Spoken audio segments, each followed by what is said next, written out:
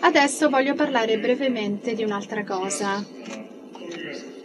Non voglio parlare solo di fotografie dei volti, ma voglio parlare dei volti come vengono percepiti nel mondo reale. Il problema per i nostri figli è che devono cercare di capire come funziona il mondo quando entrano in una palestra, quando vanno a ricreazione e, e sono contornati da centinaia di altri bambini. Come fanno a capire come comportarsi? Eh, dovremmo essere ehm, dietro l'occhio della persona per capire che cosa vedono. Quindi con alcuni colleghi nel mio laboratorio abbiamo messo a punto del, dei processi. Utilizziamo un eh, sistema per eye tracking ad infrarossi, invisibile al bambino. Mostriamo ai bambini piccoli clip di film e possiamo seguire eh, che cosa guarda il bambino per capire eh, come il bambino interpreta il mondo circostante. Abbiamo utilizzato prima clip, alcuni clip di un meraviglioso film americano che si svolge in un college americano. Eh, ci sono due professori. Ecco, il nome del film è Chi ha paura di Virginia Woolf. Eh, mostriamo piccoli spezzoni di questo film a soggetti con autismo e quelli senza autismo per capire che cosa seguono, cosa stanno guardando nel film. Questo è il primo studio che uh, mostra un uomo con autismo in uh, verde e invece uh, uno spettatore normale. L'uomo con autismo eh, mangia solo sardine non cambia mai, mangia sardine tutti i pasti del giorno, è molto rigoroso, una persona molto carina che eh, ha collaborato con noi e vediamo quello che accade. Questo, questi sono 5 secondi del film condensati in un frame, in un quadro. Vedete che lo spettatore con uno sviluppo normale va avanti e indietro ehm, tra, tra, gli occhi dei due protagonisti e invece eh, il soggetto con autismo guarda la bocca. E questa è una scena dove si è verificato qualcosa di pauroso, qualcuno, non lo so, ha fatto qualcosa di scioccante, quindi lo spettatore tipico, normale, guarda gli occhi, mentre quello con autismo guarda la bocca.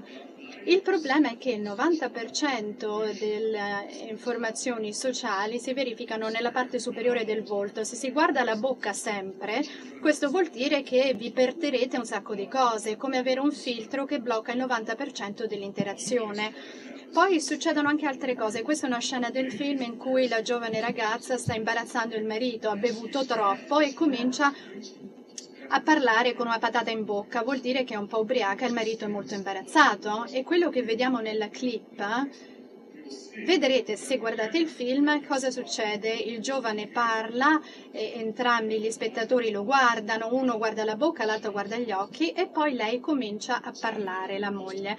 Lo spettatore tipico guarda gli occhi e poi però guarda anche il marito che non sta parlando per niente e eh, si rende conto che il marito è preoccupato. Torna poi a lei e poi torna al marito per capire l'interazione tra i due. Invece il soggetto con autismo comincia dalla bocca, quando lei comincia a parlare guarda sempre la bocca della donna, non guarda mai il, il, marito, come se non sapesse che il marito è imbarazzato. Anche in una scena tipo questa, dove c'è Liz Taylor che sta pensando a come reagire nei confronti del marito, il soggetto con autismo guarda solo la bocca di Liz Taylor e l'altro gli occhi. E questa è la mia preferita. Non so se avete studiato Freud in psicologia.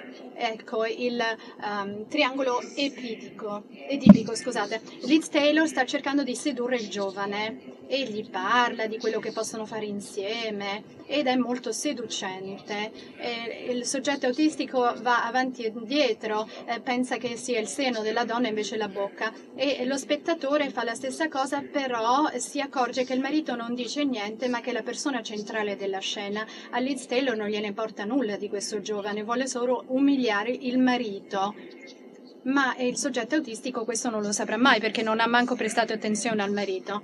Ora, la cosa interessante è che eh, questi sono dei gruppi di persone, non un soggetto. Guardiamo la distribuzione, la bocca, eh, il corpo, gli occhi e l'oggetto. Abbiamo scelto un film con eh, pochissimi oggetti oggetti. Le persone con autismo trovano gli oggetti molto di più rispetto agli altri, ma non c'è sovrapposizione per quanto riguarda gli occhi e questo è un effetto molto marcato.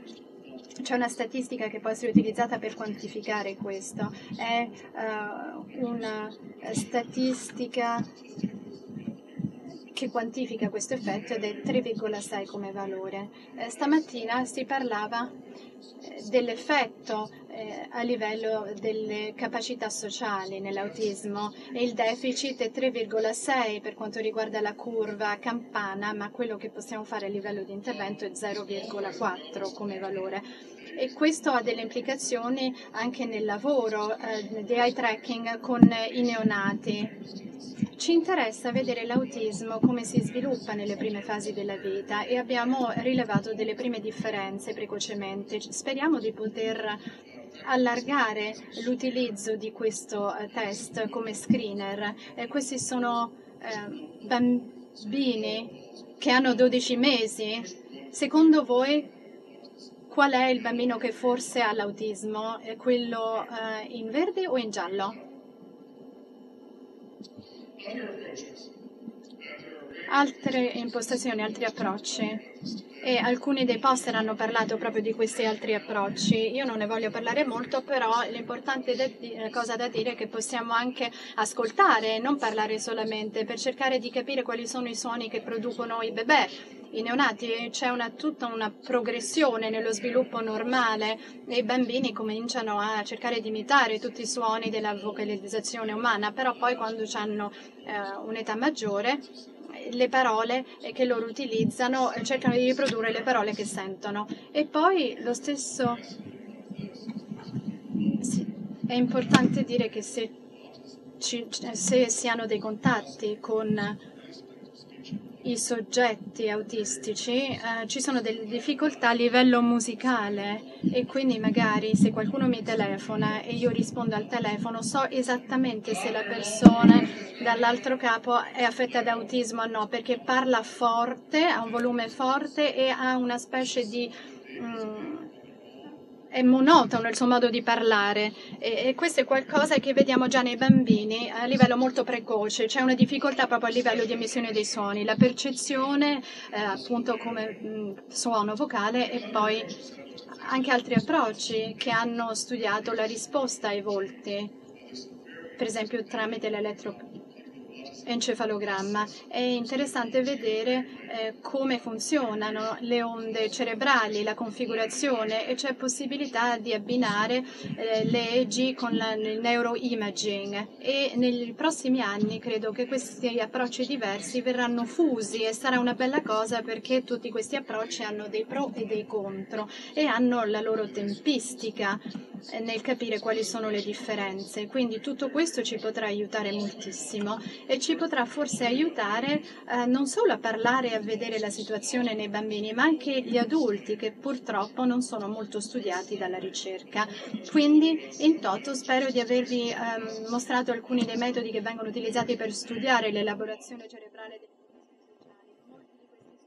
stati fatti sui neonati e bambini, ma speriamo di poter allargare i soggetti. Le differenze riguardano per esempio l'importanza e l'elaborazione dei volti. Sappiamo che c'è un coinvolgimento potenziale anche dei fattori genetici, sarà molto interessante studiare questo argomento.